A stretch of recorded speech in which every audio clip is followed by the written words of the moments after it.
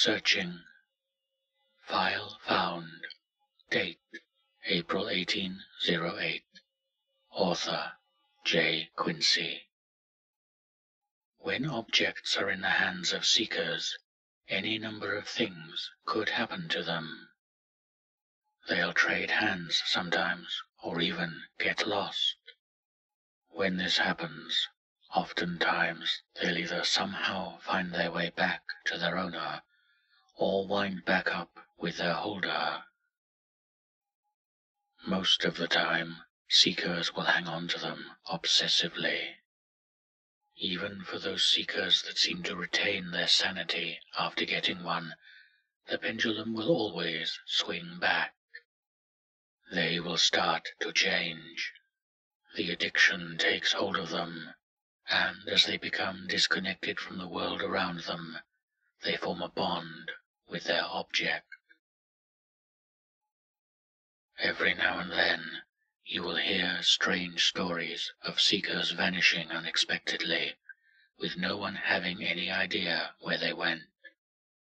If you dig deep enough, you may discover that there are often power outages around the areas they lived at the time of their disappearance. When this happens, a new holder has been born. At some point, I should have given up. I've gotten myself deep into something I don't fully understand out of pure curiosity. At what point should I have just stayed home? Yet, every time I dwell on it, I can't bear the thought of returning to my former life. Every day was the same, repeated over and over. I came to New York with dreams that were not being realized, and as a result, I was falling more and more into a spiral of monotony.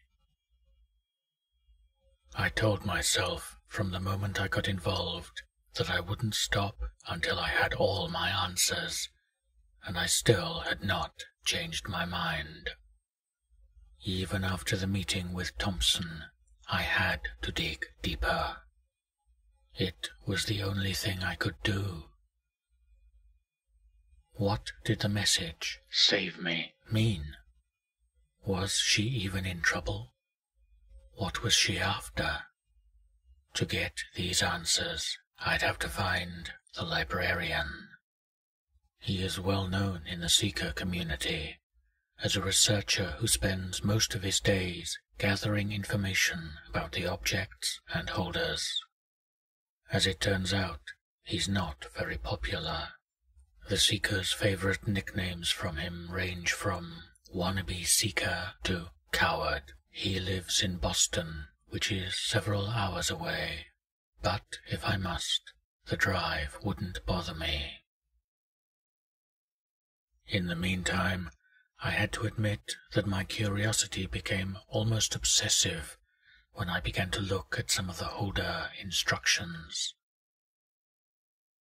These instructions have been gathered from various sources most of which are questionable at very best.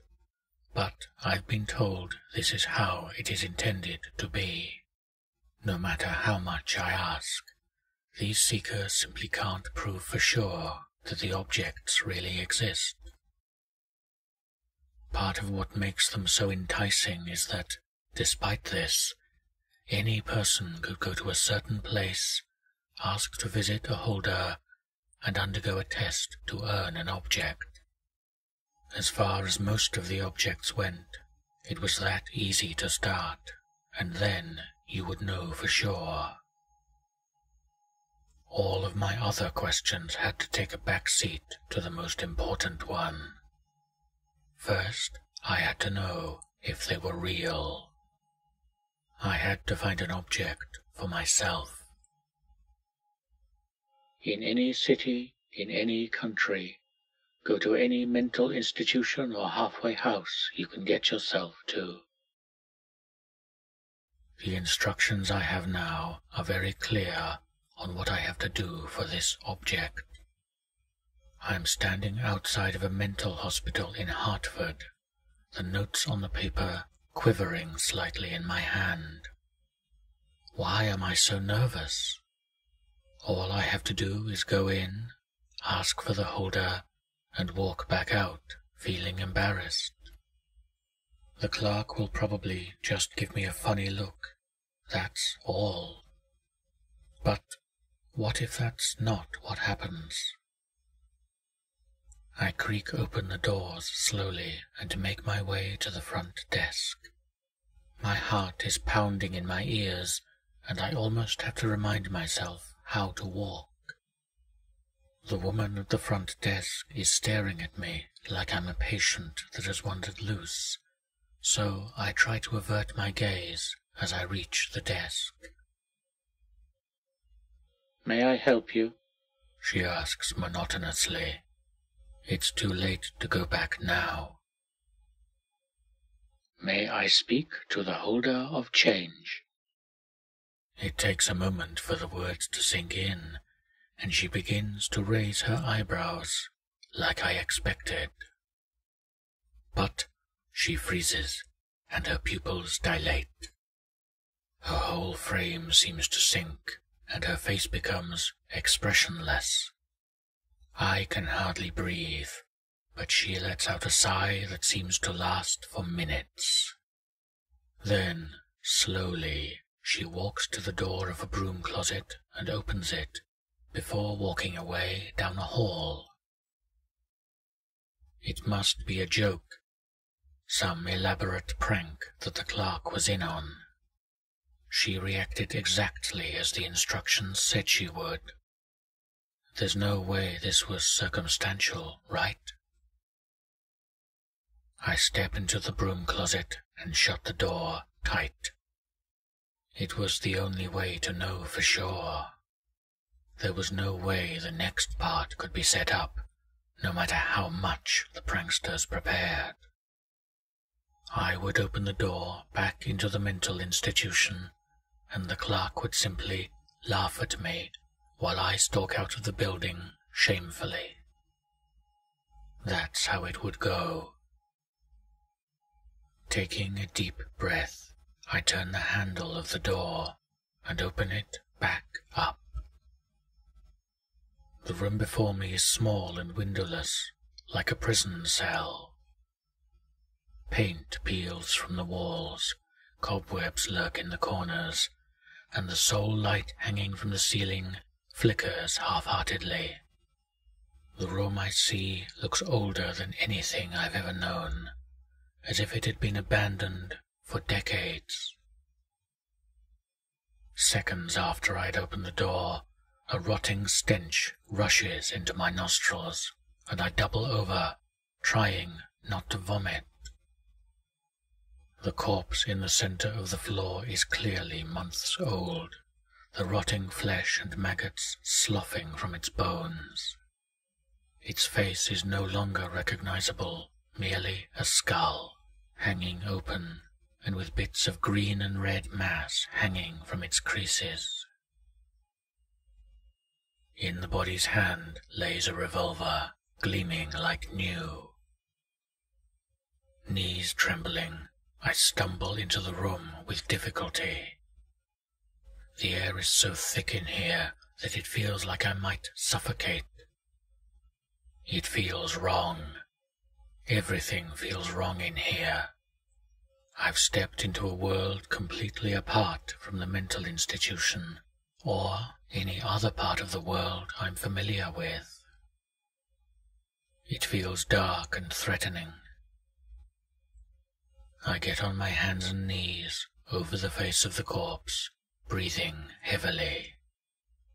The air is so thick, and it's difficult to keep from vomiting. The empty eye sockets stare at me as if waiting for the question I must ask. The question the instructions demand that I must ask. What were they once? I whisper softly. The body's bony hands whip up and latch around my head, pulling me closer, pulling me right down to its face. Its jaw creaks like a broken hinge, snapping itself into place and moving up and down. From the depths of its throat, a voice arises that sounds like it's being uttered from the bottom of a well. It pulls me even closer, its mouth right up against my ear, and begins to answer my question. My bodily fluids have already hurriedly vacated themselves, and now I feel as if my life itself is being drained away. I don't know how long it's talking. It could be minutes, hours, or even days. But what it says brings a terror to my heart that I had never known. Its voice tears at my soul with each syllable. As soon as it finishes, I let out a scream that could shred my vocal cords, and its bony hands release me. With the little sanity I have left, I see the revolver that the rotting hand has dropped and scoop it up with a trembling hand.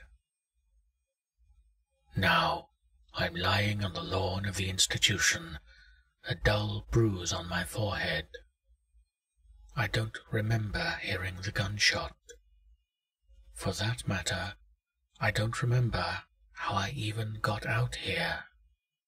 All I know is I was free of the holder's realm, and in my hand rested the shell of the cartridge I had fired. This shell is Object 178 of 539. Now I know what they were once, and even if it had not been in the instructions, I still may have turned that gun on myself anyway.